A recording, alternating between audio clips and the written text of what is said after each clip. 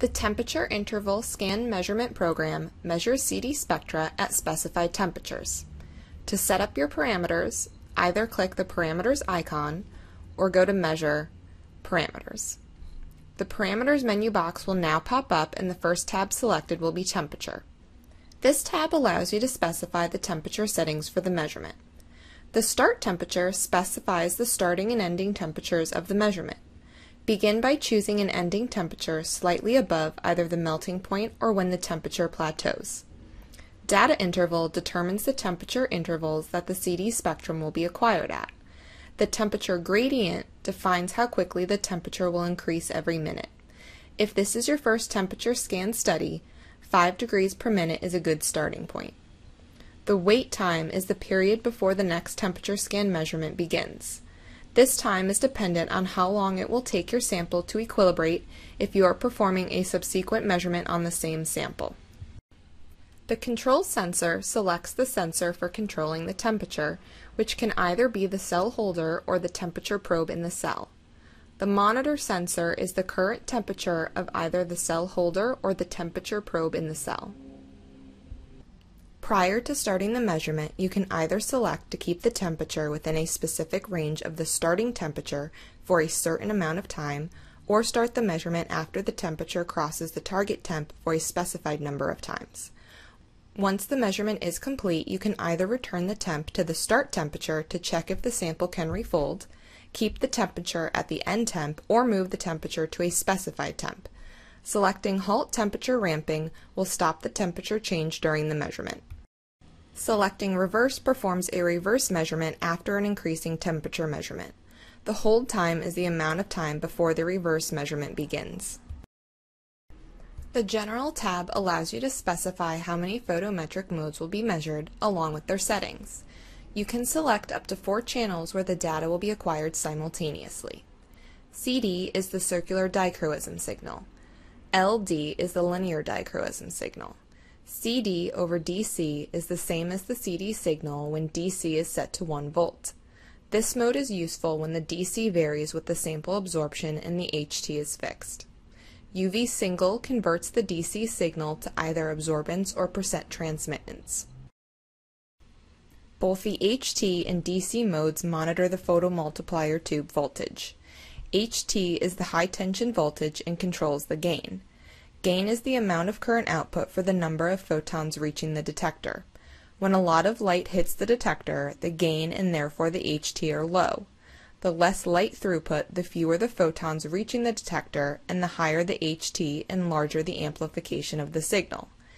DC compensates for the change in the light level.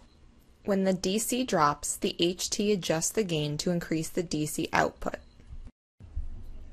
The start and end fields determine the wavelength range for the measurement. Secondary structure measurements are obtained between 185 to 250 nanometers, while tertiary structure information is acquired between 250 to 350 nanometers. The data pitch determines the number of data points collected at the specified interval. 0.1 nanometers is a good interval to start with and should provide a spectrum with an optimal signal-to-noise ratio. Selecting too small of a data pitch and you might obtain a spectrum with a lot of noise, but too large of a data pitch and crucial data points could be missed. The start mode allows you to immediately obtain a CD spectrum or wait for an external trigger. JASCO offers three scanning modes. The continuous scan acquires a CD signal at each wavelength while moving across the desired wavelength range. Step scan stops the monochromator at each wavelength to obtain a CD signal. The step scan takes much longer to acquire a CD spectrum than the continuous scan mode. The scanning speed is the speed at which the data is collected. 50 nanometers per minute is a good scan speed to begin with. The accumulations are the number of spectrum obtained and averaged together. The more accumulations, the better the signal to noise of the spectrum. The CD scale is the limit at which a CD signal can be obtained, and the fluorescence scale is the limit at which a fluorescent signal can be obtained. The DIT is the digital integration time or the response time. The longer the integration time, the better the signal to noise. Again, a good starting point for selecting the DIT is 4 seconds. The bandwidth determines how much light reaches the sample. The smaller the bandwidth, the less light throughput and the lower the signal to noise, but you can achieve better peak resolution. However, since CD peaks are broad, 1 to 2 nanometer bandwidth is fine. Now we can click on the Control tab. Here you can select whether you would like to correct your CD spectrum with a baseline spectrum. Keep in mind that if you choose to correct with a baseline, you will only have the corrected sample spectrum, not the raw sample spectrum. You can also choose to open and close the shutter automatically or close the shutter in between measurements so that the sample will not be irradiated when a measurement is not being obtained. The Information tab allows you to populate the desired fields such as sample name, concentration, and solvent. These comments can also be displayed in the Comments dialog box before the sample measurement. All information provided here can be later viewed in the Information tab in Spectra Analysis for each spectrum. The Data tab allows you to select whether to automatically save your data, as well as to specify which folder to save it to and the format the file is saved as. Saved data can be sent directly to Spectra Analysis once the measurement is finished, and the data can also be printed. You can also save your measurement parameters, as well as open previously saved parameter files. After clicking OK, you can now select wavelengths to monitor the temperature dependence of the sample at.